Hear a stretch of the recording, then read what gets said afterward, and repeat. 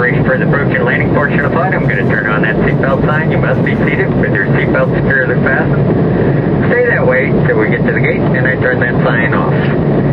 Still 84 degrees, scattered clouds here in Dallas. I want to thank you for coming with us. Hope you all have a great week.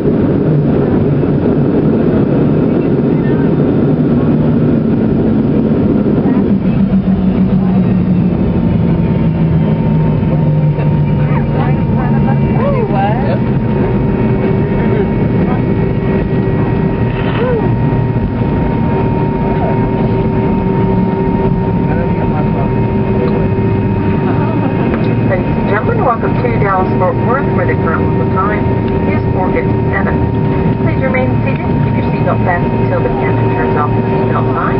The wrong carry-on items secured. item security details clear until the fasten seatbelt sign has been turned off. And before leaving, make sure you have all your belongings with you, and be careful when opening your hood bins since baggage may have moved and can fall out. You can now use cell phones and pagers, but all other electronic devices